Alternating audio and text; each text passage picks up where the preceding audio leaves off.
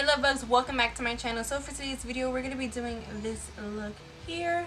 I wanted to go ahead and play with the Jackie Aina palette once again because I'm just, I love the colors that are in the palette.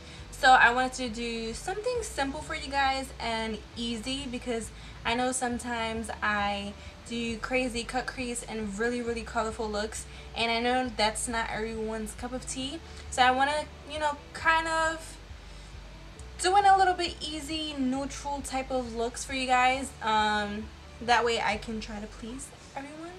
And if you're still not pleased then i don't know what the hell to tell you. Follow somebody else or look at somebody else's video.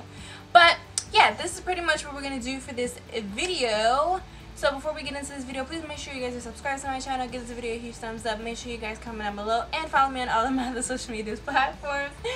And enough of that mess. Let's just get to this video oh my god i'm hot Ugh.